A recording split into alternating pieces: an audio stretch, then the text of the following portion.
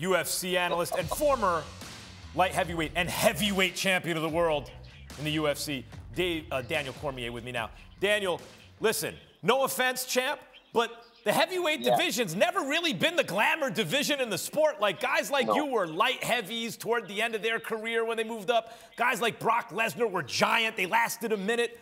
These two dudes, champ, these two dudes, this is like a new thing in the UFC. The winner of this fight would be Jon Jones would face the winner. He'd be the underdog for the first time in his career. And that doesn't happen. Jon Jones has never been the underdog. He's the guy that everybody expects to win. But whoever wins this fight, he'll be a dog against. Look, Max, this is the first time you see heavyweight fall into that sweet spot. 6'4, 255, 260, athletic. And the reactions you get when people see Francis Ngannou, it shows you the level of power that this man possesses. This dude is the biggest puncher that we see in combat right now. And and that's the crazy thing. Like the, the baddest man on the planet used to be the heavyweight boxing champion of the world. But given, because now this is kind of a glamour division with these guys in it, given this fact that you just said, the baddest man on the planet in terms of an actual fight is the UFC champion. And Daniel, explain this one. Ngannou shows up, looks devastating, learns some takedown defense, knocks out Miocic, and the next time we see him, he's the underdog? Why is yes. he the underdog against Ciryl Gane, who looks very good against Derrick Lewis?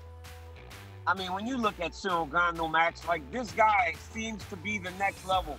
We were discussing this this morning. Uh, he's a bit of a unicorn. He's an outlier, right? People talk about him evolving the game. Joe Rogan said that it's more like once in a lifetime because even though people will try to replicate what he does, nobody moves like him. We have never seen a heavyweight in the UFC move like Stephen the Wonder Boy Thompson. Ciryl Gane literally just broke Derrick Lewis down to the point that Derrick wanted out, and he became the interim champion.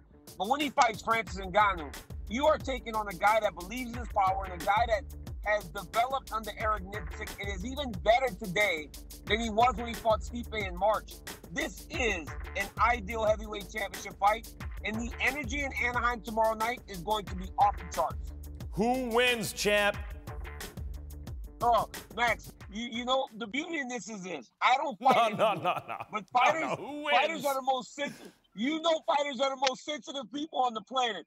And because I call the fights, I am not allowed. I, uh, I've been in that situation. Fight. So I save Max. It saves us from the wrath of these sensitive fighters. But what I can guarantee is that hey. this fight is going to be good. And if it goes long, I think Gane wins. Knockout Francis Ngannou.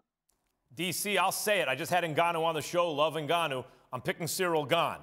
I think he oh. makes fewer mistakes at his size and athletic ability and skill level than everyone else. And I think the guy who makes fewer yep. mistakes wins this fight.